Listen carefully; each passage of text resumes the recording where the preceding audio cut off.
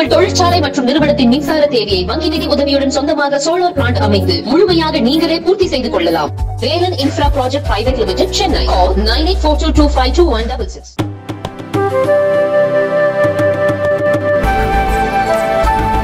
பிரதமர் மோடி தலைமையிலான இந்திய அரசுடன் இணைந்து பணியாற்ற தனது அரசு தயாராக இருப்பதாக கனடா பிரதமர் ஜஸ்டின் ட்ரூடோ தெரிவித்துள்ளார்.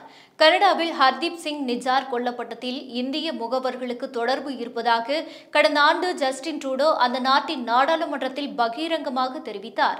அதையடுத்து கனடாவில் உள்ள இந்திய தூதரக அதிகாரியை வெளியேறுமாறு அந்த நாடு உத்தரவிட்டது.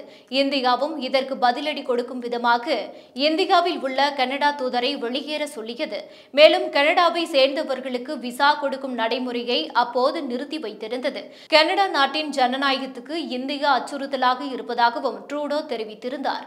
இந்த சூழலில் நடந்து முடிந்த மக்களவைத் தேர்தலில் வெற்றி பெற்ற தேசிய ஜனநாயக கூட்டணி கட்சிகளின் ஆட்சிக்கு அவர் வாழ்த்து தெரிவித்தார். அதில் தேர்தலில் வெற்றி பெற்ற பிரதமர் மோடிக்கு எனது வாழ்த்துகள் இரு நாடுகளையும் சேர்ந்த மக்களின் முன்னேற்றத்துக்காக தங்களது அரசுடன் இணைந்து பணியாற்ற கனடா தயாராக உள்ளது என அவர் தெரிவித்துள்ளார். அமெரிக்க அதிபர் ஜோ பைடன் ரஷ்ய அதிபர் புதின் பிரான்ஸ் அதிபர் மக்ரோன் உட்பட பல்வேறு நாட்டு தலைவர்களும் பிரதமர் மோடியை வாழ்த்தினர்.